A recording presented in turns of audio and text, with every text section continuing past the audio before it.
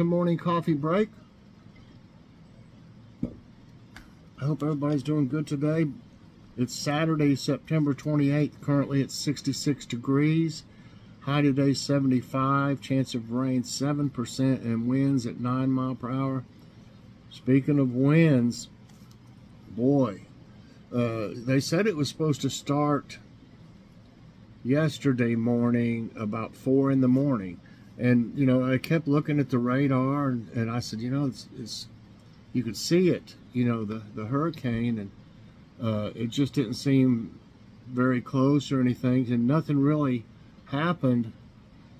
Uh, I mean, I was up for a while, uh, wondering if, if we were going to get high winds and stuff, and uh, it, nothing ever happened. I, I, fell asleep, and then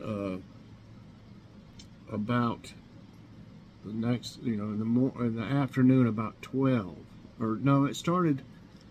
The wind started up before that. I mean, it was it was raining. Now it was raining a lot the night before, but not as much wind.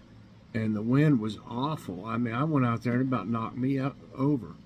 And uh, I looked. That's that's that thing defrosting. Uh, I looked out the window back that way where that like valley is that runs down through there and there's stuff everywhere. Uh, some big limbs but tons of leaves with small sticks on them uh, a lot of that stuff we can just run right over with the mower but uh, it's going to take me a long time to clean up the, uh, the stuff that does need taken to the road.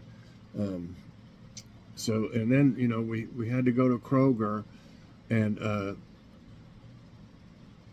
on the way there and on the way back, we saw more trees trees down in people's yards, and one had, uh, you know, hit landed on the the roof of this house, and you could see damage.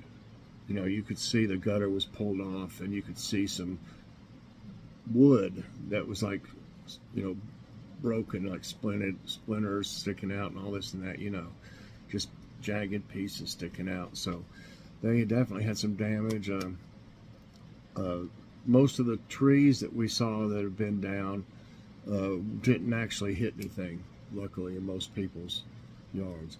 And I'm really surprised this, this one that's partially dead back here didn't uh, fall. You know, it's it's an ash tree, and I've spoke about it before. They're very hard wood. You know, that's what they make baseball bats out of. So it's just the wood's still really hard, I guess, instead of it, like, you know, rotted or whatever. But there's plenty to clean up. I don't know how I'm going to get it all done. Um, and we, we were behind on the yard because it's been raining. And before that, it didn't rain, so it didn't need mowed.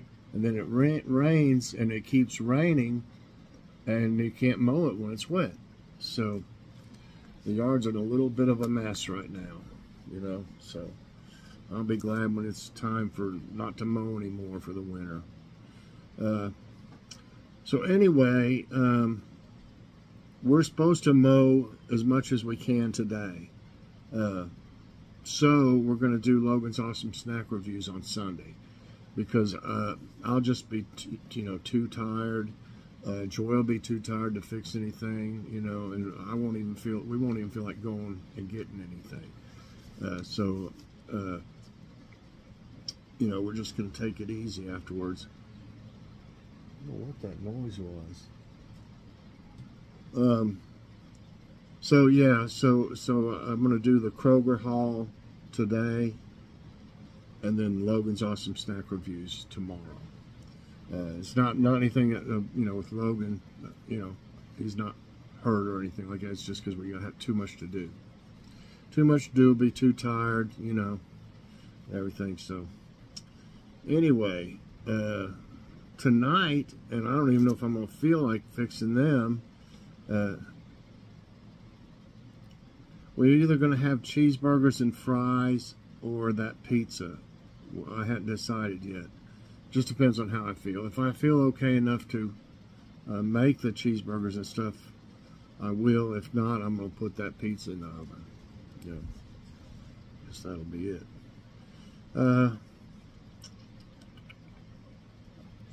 Okay, yeah, the Kroger Haul. It's a it's a small haul. It's here at the end of the month. I didn't want to get a bunch of stuff. We didn't we didn't need a bunch of stuff. So, but it got some good things in it and some good deals too. Okay, let's see what the jokes look like. Yeah, there's people a lot worse off uh, than us. Uh, our daughter up in Ohio, we're in Tennessee, of course, Northeast Tennessee, and uh, her power's been out, but uh, I don't know if it's on, back on yet or not. But um, and then uh, my brother, he he was renting uh, a house, and um, it flooded. It flooded. Um, the area that he, he lives in is, is bad for that. You know, I mean, it was more likely to flood, let's put it that way, than other places. And uh, so he's got to find a place to stay, you know, another place. As he says, just ruin. Okay, um, let's see. Yeah. Okay, why can't towels tell jokes? Because they have a dry sense of humor. Okay, how about this? A forester often has to consult property owners to determine boundary lines. Walking up a dirt road to question one such individual, a forester encountered signs that read, No trespassing, beware of dog, and keep out, this means you. Finally arriving at the door, he talked with a congenial, cooperative landowner. When he was ready to leave, the man said to him, Come and see me again sometime. I don't get many visitors up this way. I wonder why. I'd be afraid they're going to be shot or something. But they, they, whoever wrote this, they put it wrong at the end. Uh, it says, here's what it says, and I, I changed it to where it made more sense. It says, when my husband was ready to leave, the man said to him, come and see me again sometime. I don't get many visitors up this way. That, that can't be right because um, it didn't mention a wife, and I'm sure it's not saying he has a husband. Uh, that part didn't make any sense at all, so I just said when he was ready to leave, the forester that was talking to him, and that made much more sense. But you know, I just think it might have messed up on that somehow. Uh, thought of the day is from Franklin D. Roosevelt. The, on, the only limit to our realization of tomorrow will be our doubts of today. Yeah, that's a good one. Okay, now let's see what I had here for trivia time. Where'd it go? Okay, maybe this one might be. It says, prove your brain power, play the quiz on education and famous schools. Hopefully this won't be one of the real easy ones. Which word do psychologists use to describe information processing? Cognition, personality, perception, unconscious. Oh, look, he's he's uh, processing some information. He's unconscious.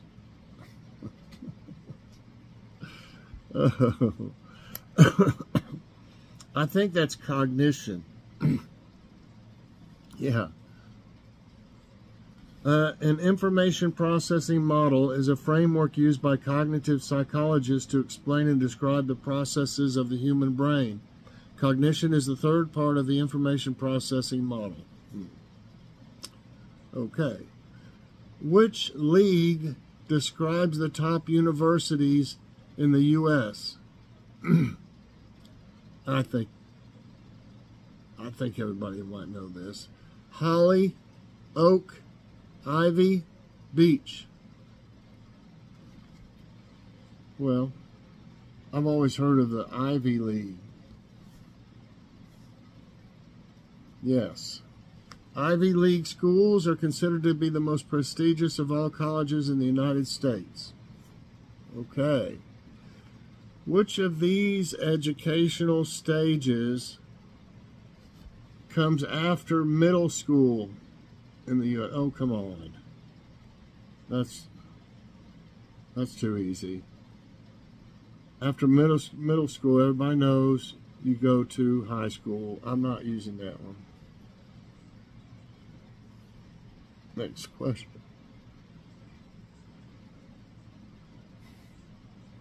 I don't know. I mean, uh, if you don't have any kids, you might not know this or might not remember that far back.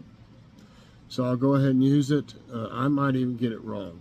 At what age do most children in the United States start kindergarten? Two years old, three years old, five years old, seven years old. Isn't it five? Yes. In most states, children must be five years old by August or September to enter kindergarten that academic year. See, my problem was, I think it was my birthday, my birthday's November 3rd. So I missed the September and all that. I don't know. It seems like I was, seems like I was about six, maybe, when I started. Okay, anyway. Okay, so let's get next question.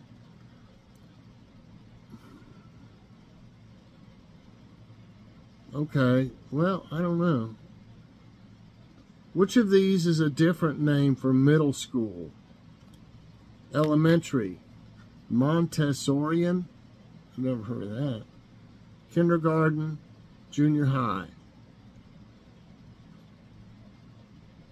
Wouldn't that be wouldn't that be junior high? Yeah. A middle school, also known as intermediate school, junior high school, junior secondary school, or lower secondary school, is an educational stage between primary school and secondary school. Hmm. Okay, uh, which of these famous universities is situated in Paris? Warwick, Sorbonne, Oxford, Yale, in Paris. I'm not really sure. Uh, the only thing I could say is the only one that sounds uh, French is Sorbonne. That's right. Sorbonne University is a public research university located in Paris, France. Uh, the NCAA is an organization that regulates what? Stock car racing, college sports, professional baseball, professional soccer. If you're not up on sports at all, you might not know this. Um, I don't watch a whole lot of it anymore, but it's college sports. Come on. That's right. The National Collegiate Collegiate Athletic Association is a member-led organization dedicated to the well-being and lifelong success of college athletes. Okay. Which of these universities is the most expensive one in the UK? King Kingston University, University of Oxford, University of Westminster, Royal Academy of Music. Hmm. University of Oxford is the most expensive one. Uh, I, I might be wrong on this one. I'm going to say Oxford. Well, that's right. Uh, the University of Oxford, located in the UK, is the most expensive university in the country with an annual tuition fee of £28,845 uh, for domestic students and £58,000 for international students. Hmm. Okay, seven right, none wrong. What is the abbreviation for a Doctor of Philosophy degree? PhD, DPhD, DOP, DOCPH. D, Doctor of Philosophy. I'm really not sure about this. DOP sounds right, but is that really it? PH. I'm going to say PhD. That's right. A PhD is a degree awarded to people who have done advanced research into a particular subject. What is the speed limit for cars around schools in most U.S. states? Between 30 and 35 mile per hour, between 35 and 45 mile per hour, between 15 and 25 mile per hour, between 25 and 30 mile per hour. Around schools. I would say 15 to, and 25. Yeah.